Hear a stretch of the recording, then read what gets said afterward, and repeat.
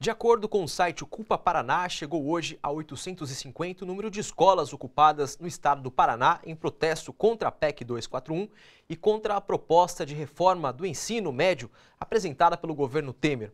Além das escolas, 14 universidades e três núcleos de ensino estão ocupados.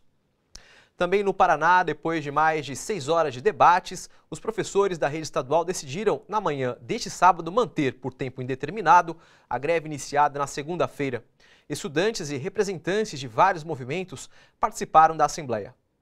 A Assembleia, com participação de 1.600 pessoas, rejeitou a proposta do governador Beto Richa, do PSDB, de rediscutir a database da categoria em troca do fim da paralisação.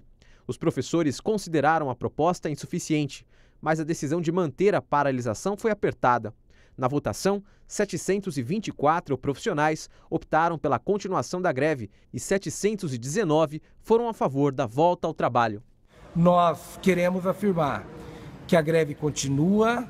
É importante que todos e todas que já estão na greve se mantenham firmes que os comandos regionais de greve dos 29 núcleos sindicais se organizem na segunda-feira para visitar escolas, fazer o debate, trazer para a nossa greve aqueles colegas que ainda não aderiram ao movimento.